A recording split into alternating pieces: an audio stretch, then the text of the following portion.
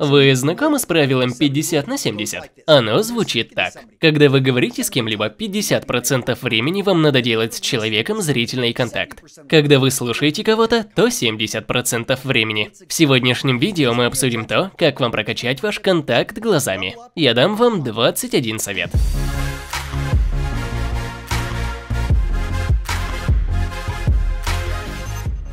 Совет номер один – знай свое место. Хотите получать обратную связь от доверенных лиц или работать с коучем, но вы не знаете, достаточно ли вы смотрите в глаза или наоборот, мало времени. Если вы не будете смотреть в глаза достаточно времени, то за вами закрепится ярлык слабого. А если смотреть долго, то это уже воспримется как агрессивность. Совет номер два – знай, как долго удержать контакт глазами. В среднем это около трех секунд. Когда вы болтаете с людьми, то считайте про себя раз одна тысяча, два одна тысяча, три одна тысяча, после чего спокойно можете отвернуться на пару секунд и покивать головой, как хороший слушатель.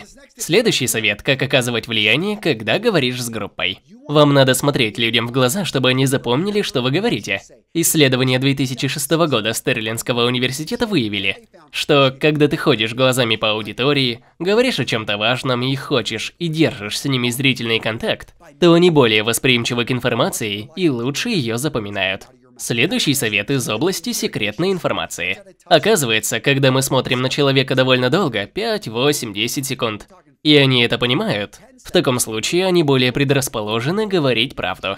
Так что если вам надо получить правду от кого-то, просто смотрите на него долго и увидите, как правда польется из человека. Следующий совет для тех, кто хочет, чтобы его запомнили. Это исследование университета Радгарс. Они обнаружили, что когда мы делаем зрительный контакт, и вы хотите, чтобы вас запомнили, это хорошо работает как с мужчинами, так и с женщинами. После того, как вы повернули голову, продолжайте сохранять зрительный контакт столько, сколько получится. Следующий совет, он больше как предупреждение. Стоит быть поаккуратнее с авторитетными лицами, если вы слишком много смотрите им в глаза. Скажем, это ваш босс. Убедитесь, что вы не делаете слишком много зрительного контакта, когда говорите с ним. А сейчас обсудим, когда стоит смотреть в глаза. Очень важно смотреть в глаза в самом начале разговора. Лучше смотреть в глаза, а уже после того, как контакт был установлен, посмотреть куда-нибудь еще. Далее будьте справедливы в распределении вашего внимания. Иногда это реально трудно. Особенно, когда кто-то говорит, и вы хотите оказать ему уважение. Или когда общаетесь с аудиторией. Сканируйте комнату, не фокусируйтесь только на одном человеке. Оказывайте должное внимание людям по краю и в центре. Следующий совет для вас, путешественники. Когда вы едете в новую страну, разберитесь в культурных правилах. Потому что меняется не только обстановка, а также может быть другая религия. И зрительный контакт может восприниматься совсем иначе, чем в вашем родном городе. Да, нам могут сделать поблажку, как иностранцу. Но иногда это может спровоцировать конфликт. Так что вы можете предостеречь нежелательные ситуации, просто зная базовые правила новой культуры.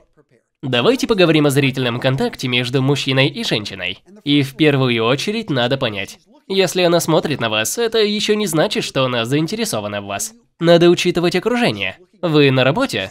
Тогда она может смотреть на вас, чтобы спросить какой-нибудь вопрос, потому что вы отвечаете за этот отдел. Если вы, например, на свадьбе, и вы заметили незнакомку, которая с вас не сводит взгляда, это совсем другая ситуация.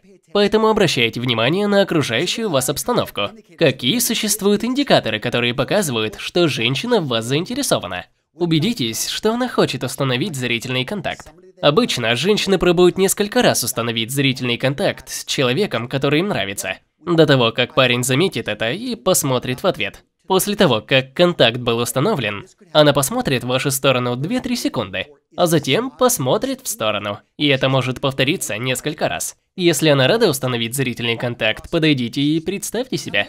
Следующий совет – не паникуйте, если она не смотрит на вас. Это вовсе не означает, что вы ей не нравитесь. Может быть, дело в том, что она привыкла к тому, что когда она смотрит, то мужчины слишком настырны. Поэтому можно заметить, что женщины более скромны, когда речь идет о зрительном контакте. Особенно, если она плохо знает человека. Что же делать, когда смотришь девушке в глаза? Улыбайся, просто покажи ей, что ты хороший человек. Это все, что от вас требуется. На мой взгляд, это даже больше того, что мужчина может сделать. Потому что я сам попадаю в ловушку, когда я увожу взгляд в сторону. Так что смотрите в глаза и улыбайтесь. Следующий совет, ребята, когда вы говорите с женщиной и смотрите в ее глаза, не пяльтесь вниз на ее грудь. Вы можете выработать в себе такую привычку не смотреть вниз. Первое, что я рекомендую, это смотреть женщине в глаза и пробовать понять, какого они цвета. Если вы запомните, какого они цвета, то вы сразу попадете в лидеры среди других парней. Далее, задержка взгляда. Когда вы общаетесь с кем-либо и вы позволяете себе задержать чуточку взгляд, это говорит о том, что вы заинтересованы в человеке, что он вам приятен и привлекателен. Это отличная техника, когда вы общаетесь с девушкой и вам пора уходить но вы продолжаете удерживать зрительный контакт и затем улыбаетесь. Мы уже обсудили, куда не следует смотреть, но куда же следует? Очевидно же, в глаза. Следует делать овал между двумя глазами. Можно уйти немного выше бровей или на кончик носа. Этот овал – это та зона, куда следует смотреть во время общения. Конечно, можно просто переходить от одного глаза к другому, если это для вас проще. Далее поговорим про моргание. Мне иногда говорили, что я очень редко моргаю, но вы можете моргать слишком часто. Видите, я моргаю. Или если вы моргаете больше 30 раз в минуту, это слишком много.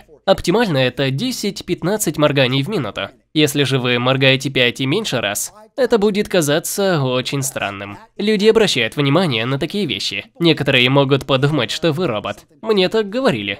Если вы моргаете слишком часто, люди могут подумать, что что-то случилось. Итак, давайте вернемся к нашим процентам. Я бы хотел услышать от вас в комментариях об этом правиле 50 на 70, если у вас в стране это используют. Но меняется ли процент? Ответ – да. Если у вас короткий разговор, то вы можете спокойно смотреть в глаза больше 50%. А если вы слушаете во время короткой беседы, то можете смотреть в течение всего времени. В коротких беседах проценты могут увеличиваться. Следующий совет – наоборот. Если у вас долгая беседа, стоит ли придерживаться правила 50 на 70? Ответ – нет. Не стоит беспокоиться по поводу правила. Проценты могут уменьшиться, но вы достигнете того же результата.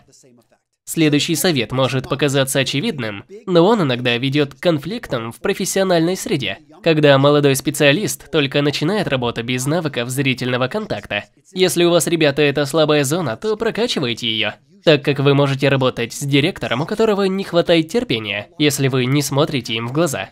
Это может вызвать недоверие к вам с их стороны, несмотря на то, что вы знаете свою работу. Так что развивайте этот навык. Господа, берегите себя, до встречи в следующем видео. Я читаю комментарии и знаю, что когда я снимаю видео с кем-то, то я смотрю на них так, как я бы хотел, чтобы люди смотрели на меня, когда я с ними говорю. Как я смотрю на Джереми, или Аарона, или других людей из моих видео. Вы пишете, Антонио смотрит на них так, будто он влюбился.